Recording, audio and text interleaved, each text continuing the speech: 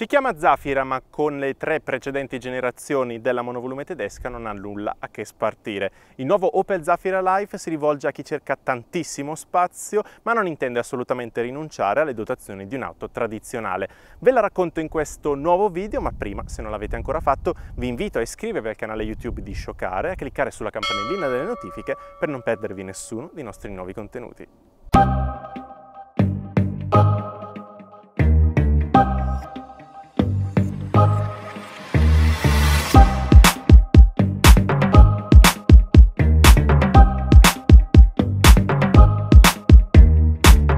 Motivo di un cambio di rotta così deciso è presto spiegato. Le vendite delle monovolume compatte sono in continuo calo da diversi anni ormai, mentre al contrario quelle dei molti spazi di segmento D, come il nuovo Zafira Life, continuano a crescere. Forse ci sarebbe da discutere sulla scelta di conservare il nome Zafira per un'auto così apparentemente diversa. In realtà i punti in comune con la vecchia Zafira sono tanti, ad esempio la flessibilità dell'abitacolo.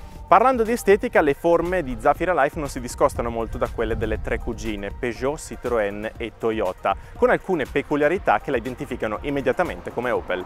Parliamo del frontale con una classica calandra a sviluppo orizzontale con l'istello cromato, il logo del fulmine al centro e i gruppi ottici all'oxeno con aletta cromata che va a ricordare la firma luminosa delle Opel.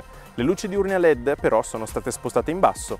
Lateralmente si notano gli sbalzi ridotti e il passo lungo, mentre al posteriore protagonista è il grande portellone incernirato in alto.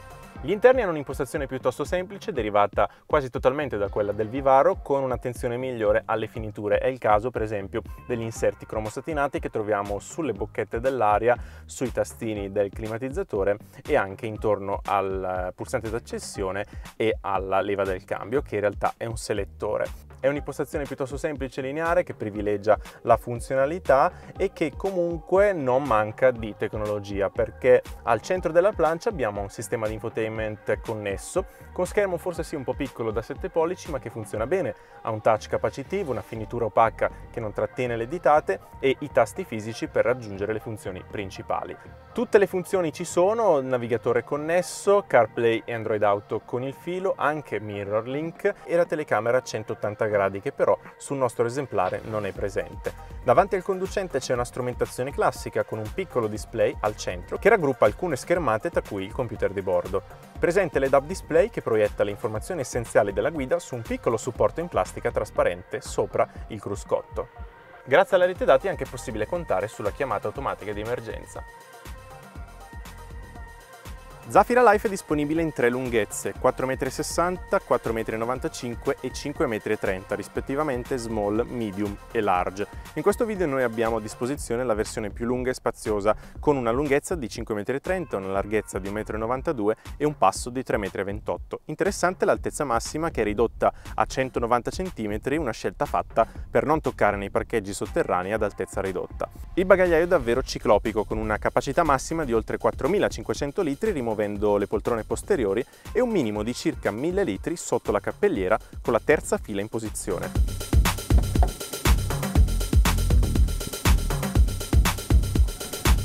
Abbiamo parlato di flessibilità ed effettivamente Zafira Life può accogliere fino a 9 persone con tre file di sedili.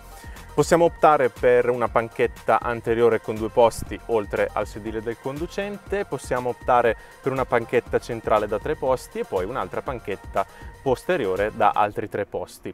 Noi abbiamo scelto nel nostro caso una configurazione 2 2 3, quindi un totale di 7 posti con la possibilità di trasformare questa vettura in un vero e proprio salotto. Perché? Perché questo bracciolo porta oggetti all'occorrenza si può trasformare in un tavolino. Senza dimenticare che poi abbiamo anche i tavolini dietro gli schienali dei sedili anteriori e la possibilità di caricare colli lunghi fino a 3,50 m senza nemmeno abbattere lo schienale del sedile anteriore. Attingendo dalla lista degli optional si possono poi avere la presa 220 e diverse prese USB sparse qua e là nell'abitacolo. Elementi non comuni sono le porte laterali scorrevoli elettricamente, azionabili tramite la maniglia, il telecomando o un gesto del piede sotto il pianale, il tetto panoramico in vetro con illuminazione a LED, il climatizzatore bizona con possibilità di gestione dei flussi anche dalla seconda e dalla terza fila e i tanti vani portaoggetti, tra cui quelli nei pannelli porta, sulla plancia, davanti al conducente, davanti al passeggero e nel bagagliaio. Le due file di sedili posteriori sono asportabili con uno sforzo non troppo pesante.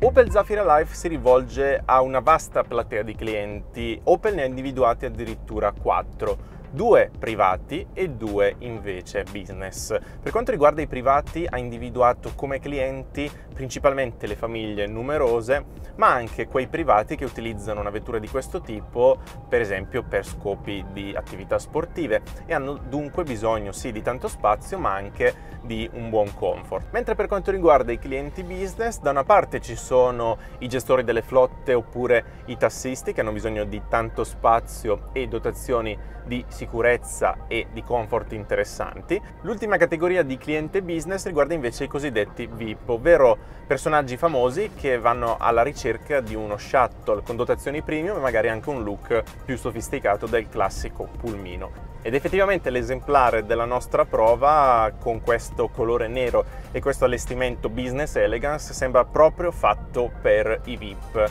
Da top di gamma è anche la nostra motorizzazione 2000 Blue HDI 180 da 177 cavalli. Un 4 cilindri devo dire abbastanza silenzioso, fluido nell'erogazione e in grado di garantire comunque un buono sprint e una buona brillantezza a questo tipo di veicolo, anche perché parliamo di un'accelerazione 0-100 coperta in un tempo minimo di 8,8 secondi e una velocità massima di 185 km/h.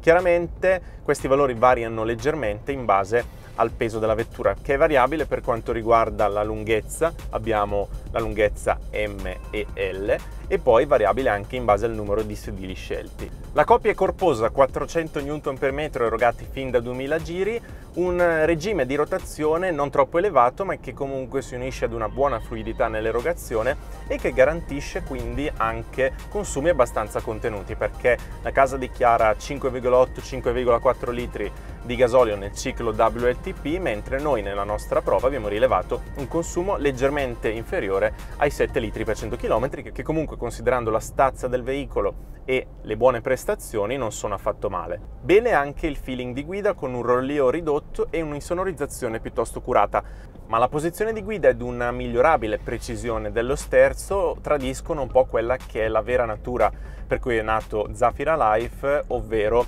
essere la versione passeggeri di Opel Vivaro, un veicolo che nonostante la piattaforma automobilistica, perché abbiamo la EMP2 che dà i natali anche a Peugeot 3008, Peugeot 5008, ha quella dello shuttle come destinazione principale di utilizzo. Per il resto si apprezzano la ottima visibilità che si gode da ogni angolazione, ecco bisogna stare molto attenti al posteriore perché di serie abbiamo solo i sensori di parcheggio e non la telecamera, una dotazione che secondo me è indispensabile per questo tipo di veicoli, specialmente quando si viaggia con tanti passeggeri o a pieno carico. Abbiamo poi un cambio che è davvero davvero molto interessante a livello di prestazioni perché è l'EAT8 di gruppo PSA, un convertitore di coppia a 8 rapporti che garantisce cambiate impercettibili e un'intelligenza davvero notevole. Il cambio si gestisce tramite un rotore a impulsi elettrici, in alternativa alla versione con cambio manuale con 150 cavalli avrebbe la leva del cambio qua rialzata, quindi è un altro punto a favore. Non mi piace invece particolarmente il fatto che la pedaliera sia leggermente disassata verso destra. Infatti molto spesso, almeno all'inizio, mi sono ritrovato a pigiare per sbaglio il pedale del freno quando invece volevo schiacciare l'acceleratore. Infine la dotazione di ADAS è abbastanza completa, ci sono la frenata automatica di emergenza, il cruise control adattivo, il rilevatore di stanchezza, gli abbaglianti automatici con fari all'oxeno e il controllo dell'angolo cieco. C'è anche l'avviso di superamento di corsia che però non agisce sullo sterzo. Il prezzo di Opel Zafira Life è abbastanza in linea con la concorrenza, si parte da 37.000 euro per la versione small con variante di allestimento Edition e motore 1.500 diesel da 120 cavalli e si arriva a 48.500 euro per il nostro allestimento Business Elegance e motore 2000 da 177 cavalli. Non è la Zafira che abbiamo imparato a conoscere negli scorsi vent'anni, ma è anche giusto così perché i tempi cambiano e anche il mercato si evolve di conseguenza.